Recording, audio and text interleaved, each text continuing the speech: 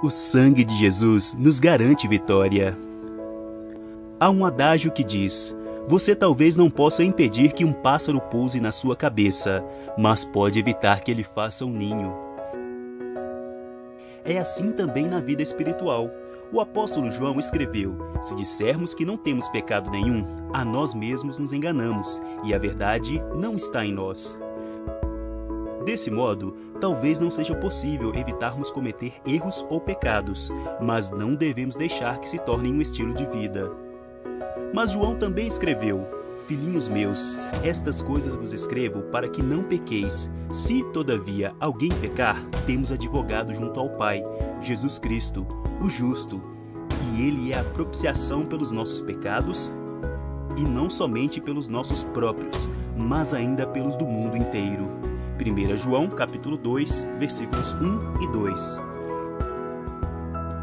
O cristão que busca seguir fielmente a Cristo recorre sempre ao sangue de Jesus. Portanto, quando Satanás vier lhe acusar, enfrente-o com as poderosas armas espirituais de que dispõe, o sangue de Jesus e a palavra do seu testemunho. Pois este foi o exemplo que seguiram muitos fiéis, como está escrito: Agora veio a salvação o poder, o reino de nosso Deus e a autoridade do seu Cristo, pois foi expulso o acusador de nossos irmãos, o mesmo que os acusa de dia e de noite, diante do nosso Deus.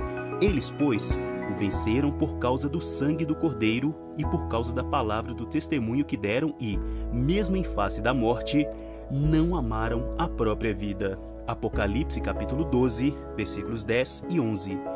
Jesus não tem promessas para perdedores, só para vencedores. Você foi chamado para ser vencedor. Viva com a certeza de que é o sangue de Jesus que nos garante vitória plena sobre o pecado.